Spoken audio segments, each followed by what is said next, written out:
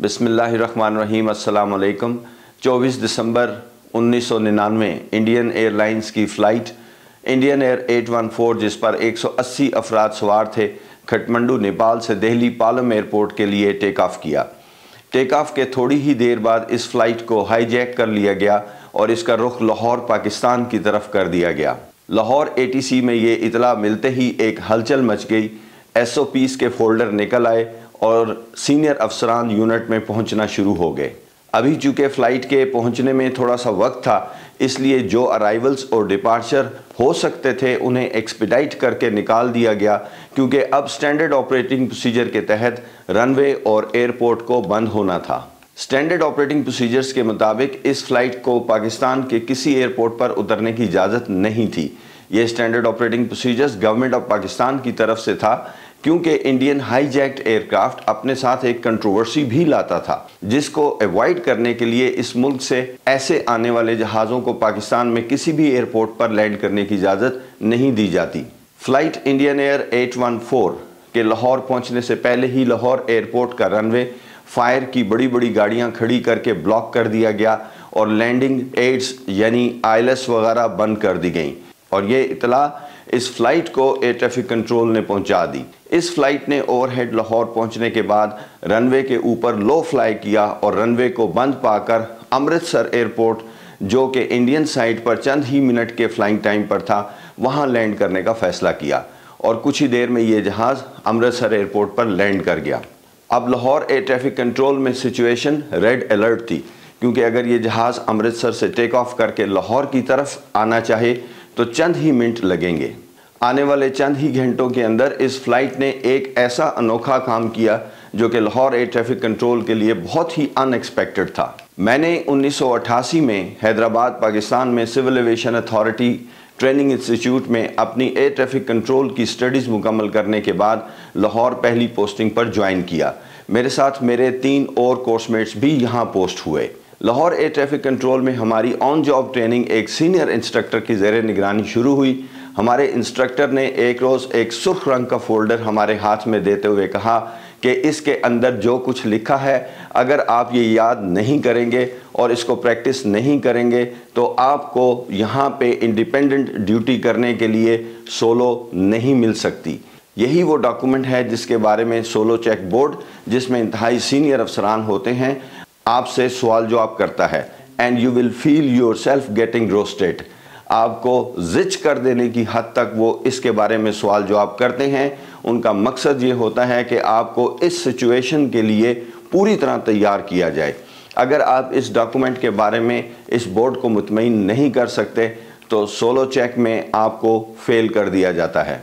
जब मैंने इस फोल्डर के कवर पर नज़र डाली तो वो हाईजैक्ट एयरक्राफ्ट का स्टैंडर्ड ऑपरेटिंग प्रोसीजर था। और इसके अंदर स्पेशली इंडियन हाईजैक्ट एयरक्राफ्ट के बारे में लिखा हुआ था। लाहौर एयर ट्रैफ़िक कंट्रोल में एक सेइंग है कि हर तीन साल के बाद एक इंडियन एयरक्राफ्ट हाईजैक होता है और उसका रुख पाकिस्तान और ख़ास कर लाहौर की तरफ़ होता है। आप हिस्ट्री उठा कर देख लीजिए, आपको ख़ुद ऐसा ही महसूस होगा। मुझे इससे कोई मतलब नहीं कि इंडिया या पाकिस्तान पॉलिटिकल फ्रंट के ऊपर क्या गेन करते हैं और क्या लूज़ करते हैं। मैं इस वक्त ख़ास तौर पर सिर्फ़ और सिर्फ़ एयर ट्रैफ़िक कंट्रोल हैंडलिंग के बारे में बात करना चाहता हूँ।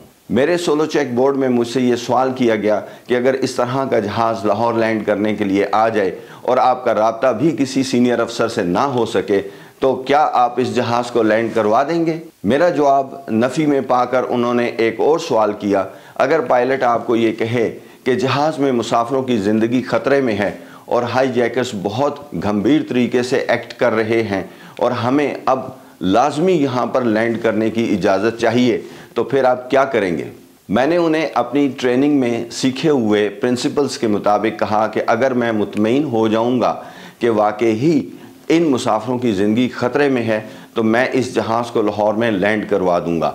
अगला सवाल बोर्ड ने मुझसे किया कि वो कौन से हालात होंगे कि जो आपको मुतमिन करेंगे।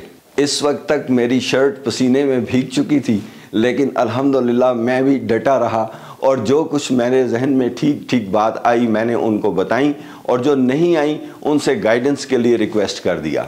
स्टैंडर्ड ऑपरेटिंग प्रोसीजर्स के मुताबिक इंडिया की तरफ़ से आने वाले किसी भी ऐसी फ़्लाइट की इतला मिलते ही रनवे पर गाड़ियाँ खड़ी करके रनवे ब्लॉक कर दिया जाता है और लैंडिंग एड्स को ऑफ़ कर दिया जाता है।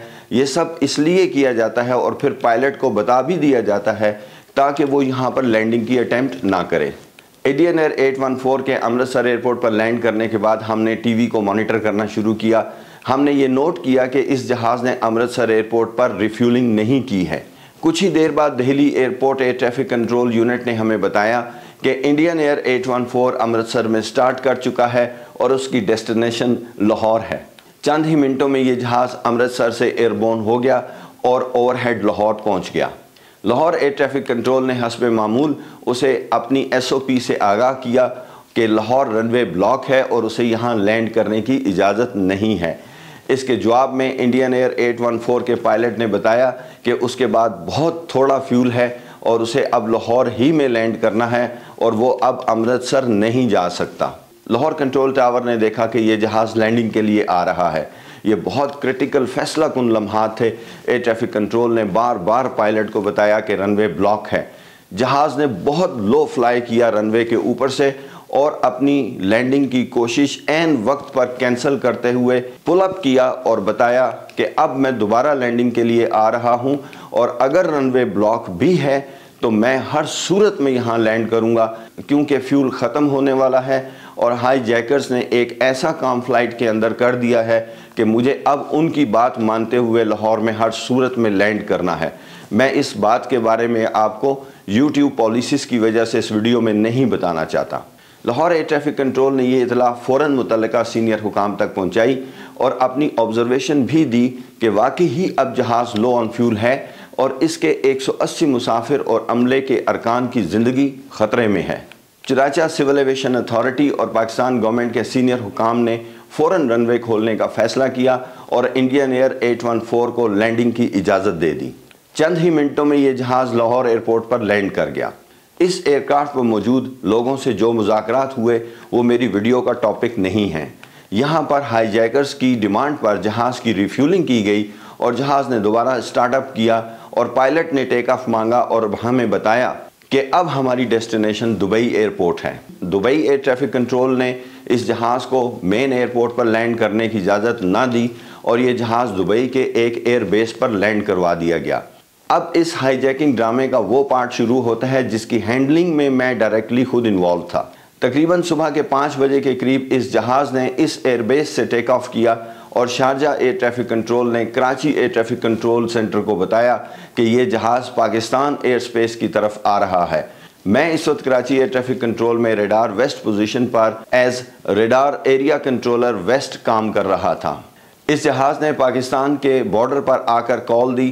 Karachi Indian Air 814 hijacked we are approaching Pakistan airspace and we will be flying through Pakistan airspace for Kabul. मैंने एस एसओपी के मुताबिक इस जहाज़ को जवाब दिया।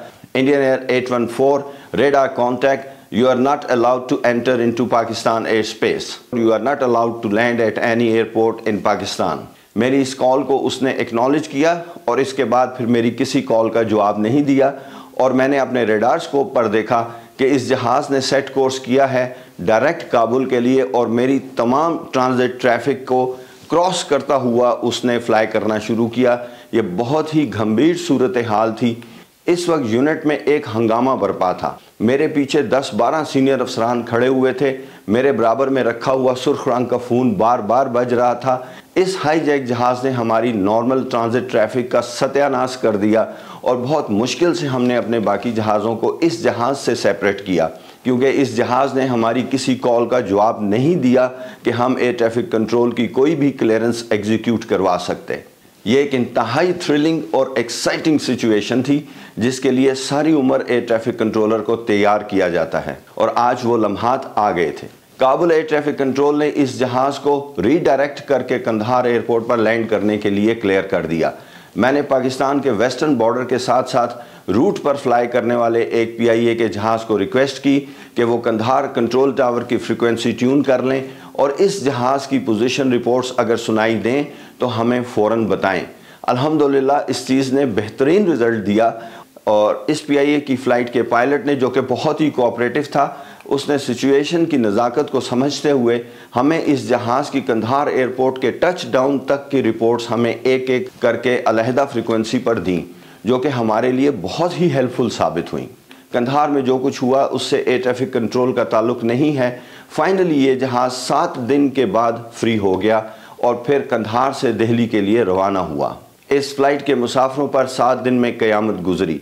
इस पूरे वाक़े में एक कैजुअल्टी और सत्रह ज़ख्मी हुए। मैं यूट्यूब पॉलिसी की वजह से ओवरहेड लाहौर जो कुछ हुआ वो बता नहीं सकता, जिसने हमें इस बात पर मजबूर किया था कि इस जहाज़ को पैसेंजर्स की सेफ्टी की खातिर लाहौर लैंड करवा दें।